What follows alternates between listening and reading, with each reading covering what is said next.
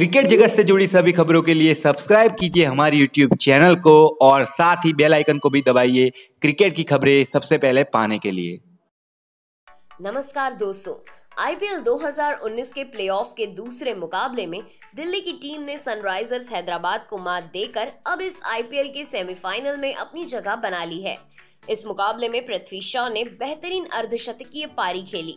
वहीं लगभग हारे हुए मुकाबले को ऋषभ पंत ने अकेले के दम पर ही दिल्ली को इस मुकाबले में हैदराबाद के खिलाफ एक रोमांचक जीत दिला दी।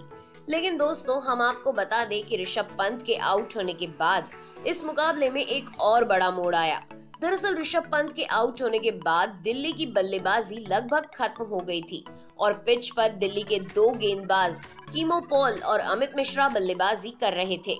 इस मुकाबले की आखिरी ओवर में दिल्ली को जीत के लिए पाँच रनों की आवश्यकता थी, लेकिन ये आखिरी ओवर बेहतरीन फॉर्म में चल रहे खलील अहमद डाल रहे थे।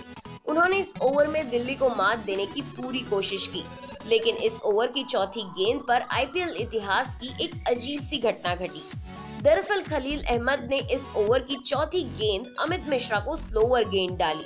मिश्रा ने अपना बल्ला तो घुमाया लेकिन गेंद बल्ले को मिस करते हुए विकेट कीपर के पास पहुँची।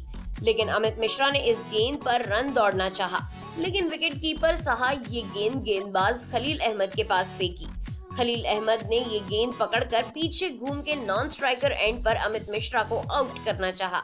लेकिन इस गेंद पर कहीं अमित मिश्रा आउट ना हो जाए, इस वजह से वो खुद गेंद और स्टंप के बीच में आ गए और खलील अहमद ने जो थ्रो किया था, वह सीधे अमित मिश्रा को टकरा कर दूर चला गया।